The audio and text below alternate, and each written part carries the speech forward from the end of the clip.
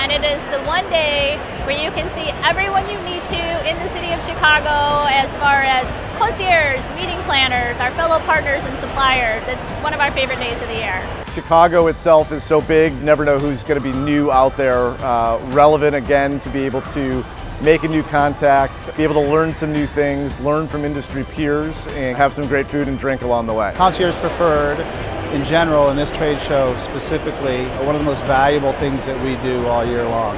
We really love the people, we value the connections. The atmosphere here is super lively, friendly, very educational, uh, it's very welcoming. Would like to say that we've been here for double digit years. When I sell it to my supervisors back at the Chicago White Sox, I always tell them it's one stop networking for us for the day. We can sell what our ballpark is about.